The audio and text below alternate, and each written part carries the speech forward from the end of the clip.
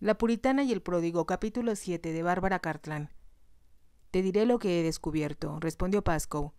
Fincas en decadencia, cabañas que se derrumban, pensionados demasiado viejos para trabajar y escasez de dinero para contratar más trabajadores. Una imagen bastante deprimente, convino el conde. No sabría por dónde empezar, a menos que tuviera dinero para repararlo todo, insistió Pascoe. Lo cual nos trae de nuevo a Nanette. Maldita sea. Voy a casarme con ella, aunque su hermana trate de evitarlo. Si Nanette me acepta, juntos levantaremos de nuevo la finca. Después de todo, se trata de mi hogar. Y me ayudarás con la señorita Liliana. Te deseo suerte. Lo pensaré, respondió el conde. Mientras tanto, si vamos a Londres, será mejor que ordene que prepare mi faetón. Supongo que desearás llegar allá lo antes posible. Por supuesto, exclamó Pascoe, y los ojos se le iluminaron. Liliana estaba sentada en el oscuro salón cuando Nanette entró en la suite.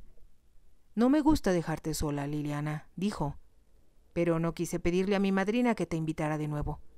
Sabes que le disgusta tener alrededor a muchas mujeres solteras. Claro que entiendo, respondió Liliana, y tus amigos han sido muy amables conmigo. Ayer pasé un rato encantador con Lady Dobson, y lo mismo la otra noche con nuestros primos pues yo pensé que eran un montón de presumidos que solo querían hablar de mamá. Me di cuenta y me pareció que la prima Cecilia tenía muy poco tacto al referirse a ella todo el tiempo. Creo que ya está demasiado vieja, comentó Nanette. Pero me parece que no debemos repetir esa reunión. Liliana rió al escuchar a su hermana. Desde que llegaron a Londres había estado tratando de recordar a sus parientes, así como a los amigos de su padre con los que él había tenido contacto frecuente. Lo primero que habían hecho al llegar fue recorrer la calle Bond en busca de vestidos. Nanette estaba decidida a que su hermana fuera tan elegante como ella, y haciendo caso omiso de las protestas de Liliana, le escogió tantos vestidos que hasta perdió la cuenta. No voy a avergonzarme de ti, dijo Nanette, y eso quiere decir que costará dinero, y no importa quién paga, lo único que importa es que vistas bien. En aquel momento Liliana vestía con mucha elegancia, y el traje de noche verde pálido que llevaba puesto parecía reflejarse en sus ojos. Nanette dijo de pronto No debería dejarte sola, querida. Pero ¿qué puedo hacer? Estaré bien, contestó Liliana. Me puse este vestido porque Charity quería estar segura de que me quedaba bien, por si lo quería usar más adelante. Estás demasiado elegante para cenar sola, comentó Nanette, pero te prometo que mañana haremos algo las dos juntas. Le dio un beso a su hermana en la mejilla y Liliana preguntó ¿Estás segura de que alguien viene a buscarte? Sí, por supuesto, respondió Nanette. Pero mi madrina dijo que me esperarían abajo, y ya se me hizo tarde. Salió de la habitación antes que Liliana pudiera hacer más preguntas. Liliana, al contemplar las flores sobre la mesa, se acordó de su casa, de las flores del jardín, del arroyo y de su caballo. Allí es donde deseo estar, pensó. Se preguntó si el conde estaría cabalgando todos los días en la pista, y si algún día ella llegaría a tener un caballo capaz de vencer a César. Parecía absurdo, pero extrañaba al conde. Sus discusiones con él y hasta el sentimiento de disgusto que le provocaba cada vez que se veían. ¿Qué estaría haciendo ahora? ¿Cuántos cuadros habría vendido? Era doloroso pensar en lo que había tenido que venderse. Pero en lugar de recordar los tesoros perdidos, en la mente de Liliana aparecía otra imagen. Veía la mirada burlona del conde, la mueca que torcía sus labios y su ropa desaliñada. Dondequiera que él estuviera parecía dominarlo todo, incluyendo el salón dorado y a ella misma. Lo odio, pensó Liliana, pero a la vez deseaba verlo, discutir con él, escuchar su voz grave y tratar de vencerlo en una discusión. Está destruyendo todo cuanto amo, todo por lo que he luchado, se dijo. Pero entonces tuvo la inquietante sensación de que era más agradable estar con él, aunque se sintiera a disgusto, que permanecer sola, como lo estaba en ese momento, en un hotel triste y en una ciudad que detestaba. Liliana se preguntó cómo era posible que a la gente pudiera gustarle Londres. Quizá estuviera bien para Nanette, rodeada de gente joven, pero para Liliana las calles eran estrechas y sucias, y extrañaba el aire fresco y los caballos que montaba en su casa. Ahora se daba cuenta de lo mucho que disfrutaba al poseer la finca, y de que la gente acudiera a ella en busca de ayuda y consejos. Pero, sobre todo, de cuidar del castillo de Winslow. Quiero regresar a casa, dijo de pronto, pero estaba pensando en el castillo. En este momento un sirviente abrió la puerta y anunció Un caballero desea verla, señorita. Liliana alzó la vista y por un momento no estuvo segura de que tenía al conde ante sus ojos. Su aspecto era muy diferente, pero ella tardó en comprender por qué, hasta que advirtió que iba vestido con ropa de etiqueta, que no se parecía nada a la que llevaba la noche en que cenaron con él en el castillo. Buenas noches, Liliana. Después de un momento de sorpresa, Liliana se acordó de hacer una reverencia. Buenas noches, su señoría. Veo que está sola. Temí que estuviera en una fiesta o recibiendo visitas. Nanette salió a cenar con su madrina, la condesa de Canworth. ¿Y a usted no la invitaron? La condesa ya tuvo la amabilidad de invitarme a cenar hace tres días. Así que hoy la Cenicienta se quedó sola en casa. Pues bien, estoy dispuesto a ofrecerle una noche mucho más interesante que la que puede pasar aquí. Es muy amable de su parte, pero estoy bien aquí, gracias.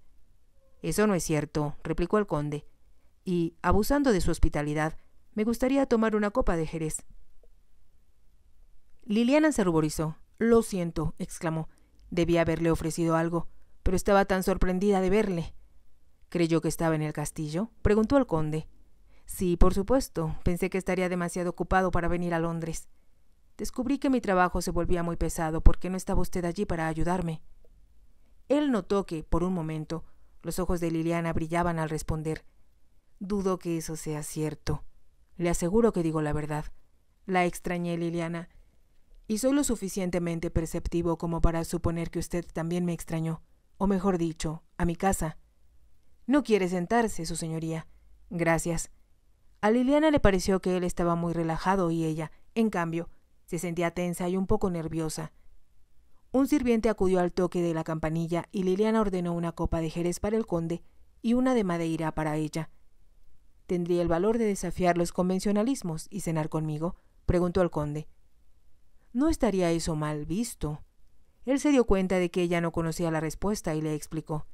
No precisamente mal, aunque quizá un poco indiscreto, pero como no conozco a nadie a quien pueda invitar a esta hora, Sugiero que vayamos primero al Teatro Real, donde ya he ordenado un palco, y después a cenar en algún lugar discreto y tranquilo, donde podamos conversar. A Liliana aquello le pareció maravilloso, en lugar de la noche aburrida que temió pasar, y deseó decirle que nada le agradaría más. En su lugar, dijo con voz casi inaudible, Es muy amable de su parte, su señoría, acordarse de mí, pero debe haber muchas antiguas amigas que desean volver a verlo después de tanto tiempo. ¿Me está atacando, Liliana? No, claro que no. Puedo percibir la agudeza de su voz cuando se refiere a mi larga ausencia, y ya me cansé de explicar que había una guerra. O quizá debo ser honesto y decirle que tenía cosas más importantes e interesantes que hacer que regresar a casa y ser un hijo pródigo. Al menos cuando el hijo pródigo regresó, su padre mandó matar al becerro más corto que tenía, contestó Liliana sin pensar. Pero se arrepintió de inmediato, tiene razón, Liliana. En mi caso no había nadie para matar al becerro, a no ser usted. Hubo un silencio y luego Liliana dijo No lo tome como un reproche constante de mi parte, pero prometimos ayudarnos uno al otro y no estoy muy segura de que usted esté cumpliendo con su parte del trato. Solo el tiempo lo dirá.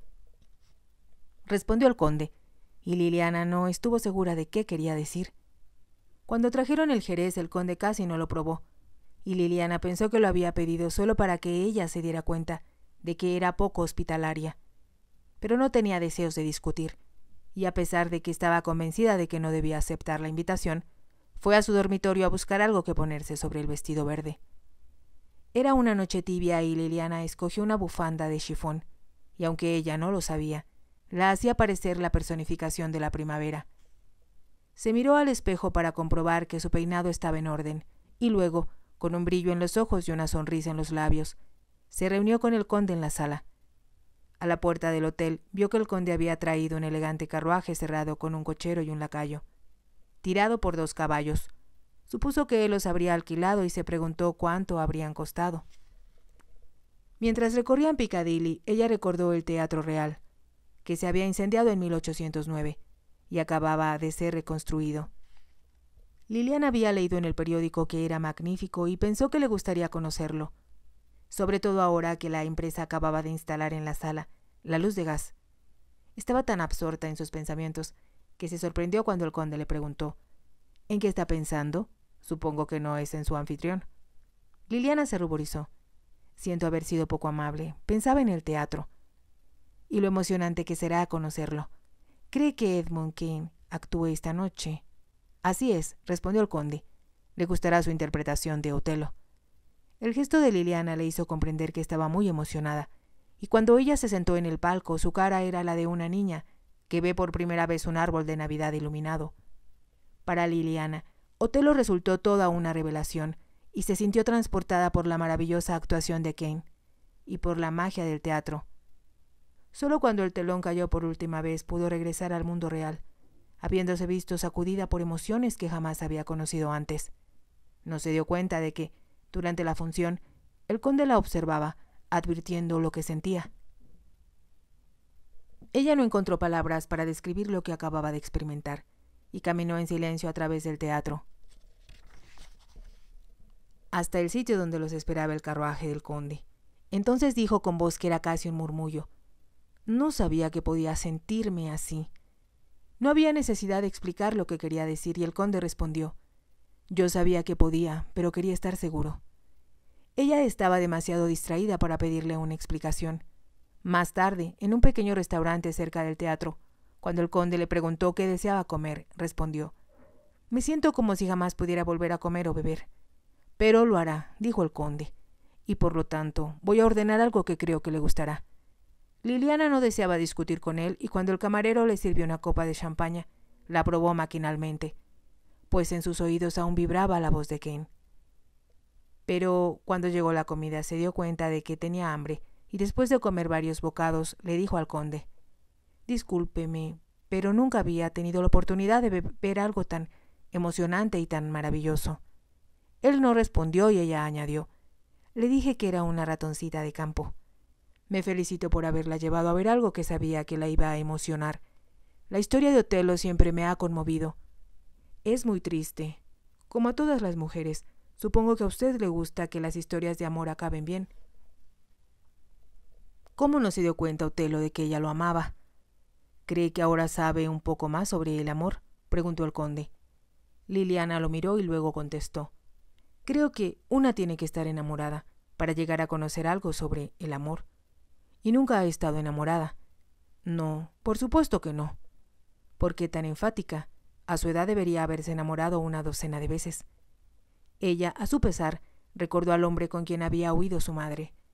Liliana no lo había amado, al menos no de verdad, pero no cabía duda de que había creído estar enamorada. ¿Quién es él? preguntó el conde. La pregunta la sorprendió. No hubo nadie. Eso no es cierto.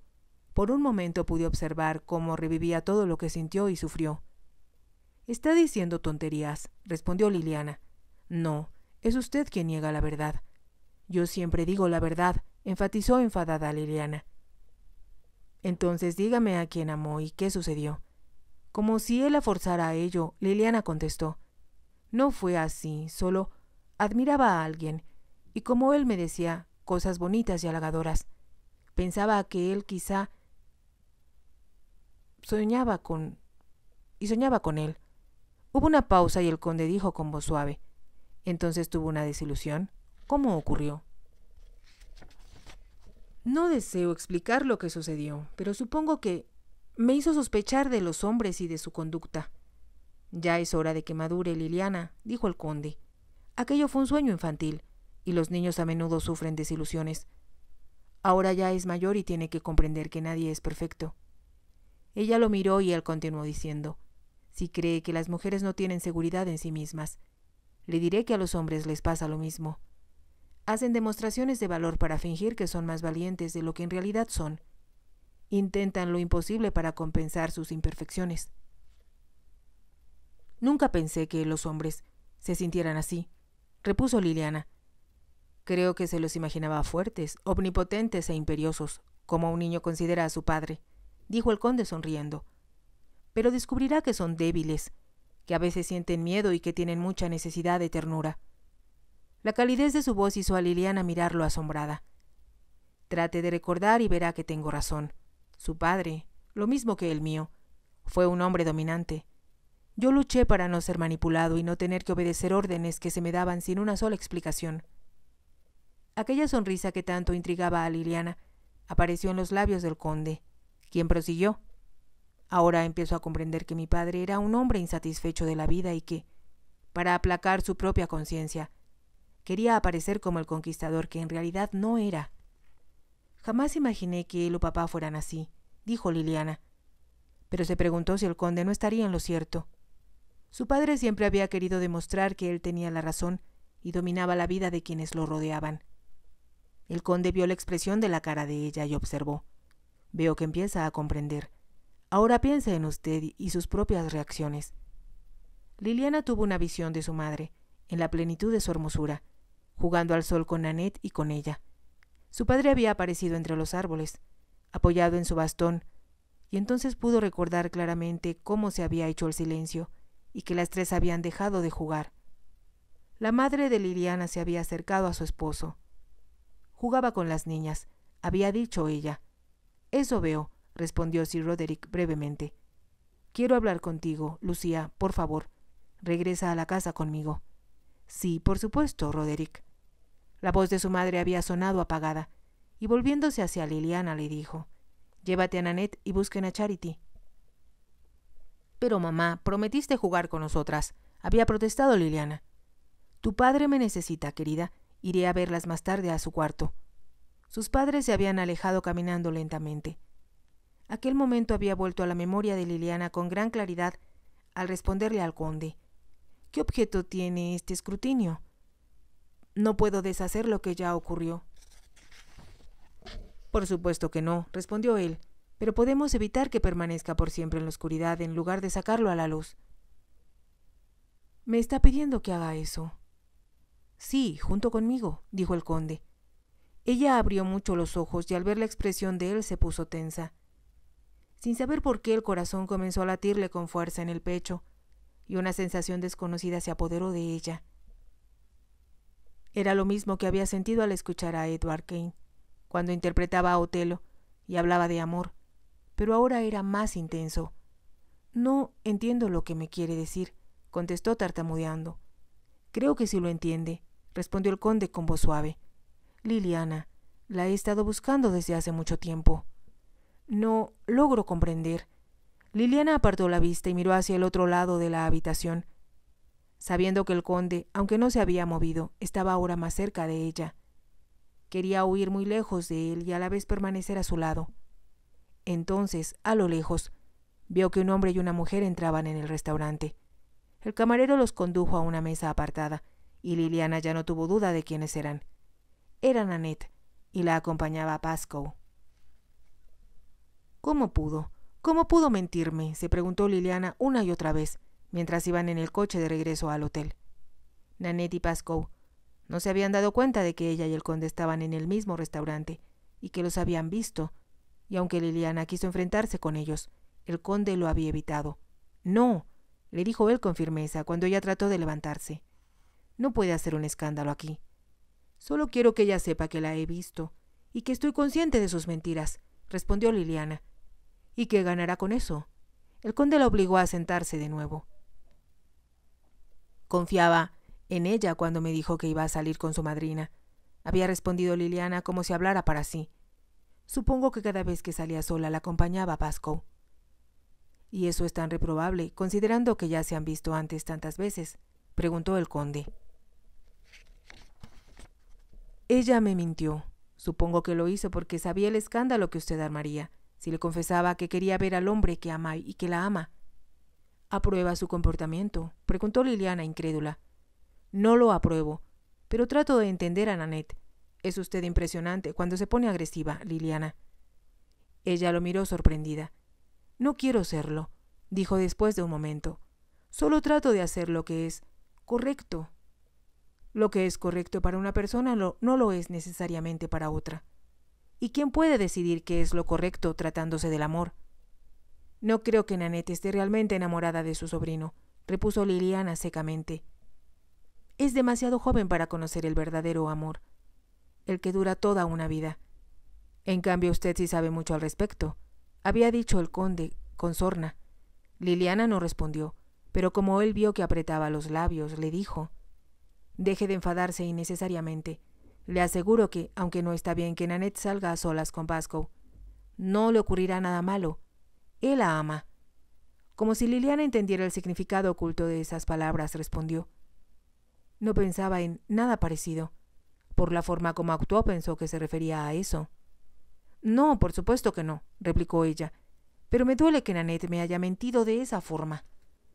Puedo entenderlo, dijo el conde, pero usted debe aprender que, cuando una persona está enamorada, nadie más importa, ni siquiera los más cercanos a nosotros. ¿Qué debo hacer? preguntó Liliana desesperada. ¿Cómo puedo evitar que Nanette salga con su sobrino y ponga en peligro su reputación, mostrándose en público con él? Si usted de verdad piensa que ella puede arruinar su reputación, entonces, ¿qué me dice de la suya? El color subió a las mejillas de Liliana al responder. Yo soy mayor que ella y totalmente desconocida en Londres, y usted es diferente. Si te ha gustado, te invito a que te suscribas, a que me regales un me gusta y actives la campanita para que puedas seguir escuchando esta historia. Gracias.